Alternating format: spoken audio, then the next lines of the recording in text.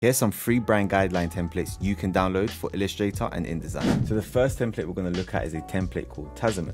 So you can see the full overview of the brand guideline template here, and it gives you a very simple corporate vibe. Again, it has some great sections like graphical elements where you can add your patterns, color palette, and also has a um, logo variation page where you have your different logo variations and different color backgrounds. Some pages could go more in depth, but either way, it's very simple and very straightforward. Again, what I like about this is it has its logo misuse page, which everything is laid out um, and it just explains everything. So when you're using this, you probably want to add a red line through to show that you shouldn't do this because it just has different variations of the logo there. It's not too clear that it shouldn't not be done, if you know what I mean. So when you're doing this, make sure you add a red line through for sure. But that is the Tasman template. Now let's look at the next template. So the next one is a template called Pura. So of course this is more on, on the um, extravagant side. This is more for a fun, vibrant brand identity system. So I don't have the font installed. So I'm just going to show you how it actually looks over here. So over here you can see the brand guidelines and this is how it look if you do have the font installed but it's just a very again fun and simple brand guidelines. Is going to be once in a while that you're going to have to create a brand identity system like this and this just really works.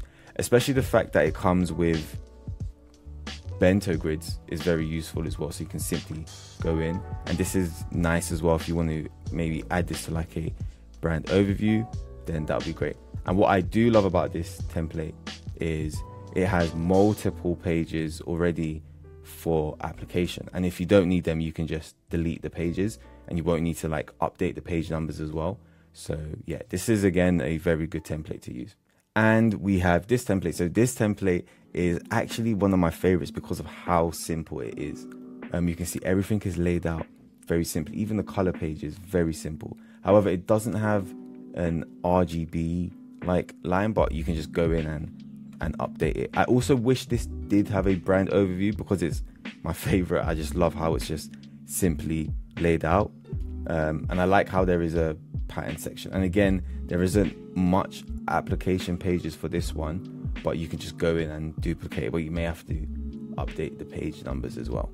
Now, finally, I want to share with you my own brand guideline template. So, I actually had a hard time searching for the best free brand guideline templates. In fact, there is not much free brand guideline templates online.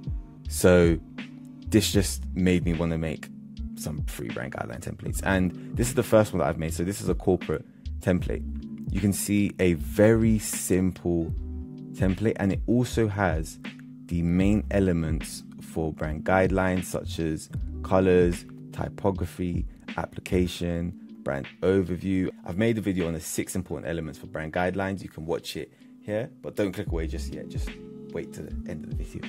But um, yeah, you can see these very simple sections, and this is the corporate template. You can just go in and simply just replace your logos, logo mark, logo type, and just add your images. And you have enough applications here that are not too much and definitely um, more than you need. And we also have an urban template as well. So I created this a very simple urban template, similar to the one before, similar layout, but this is based on a condensed font. So if you have a condensed font, definitely go for this. And of course, you can just like edit the colors and stuff. Um, and again, you can go in and just replace things. So yeah, so you can download the corporate and urban template um, this is available for Illustrator and InDesign. The link is in the description. Thank you for watching. Please like, share, and if you want to see more videos like this, hit the subscribe button below.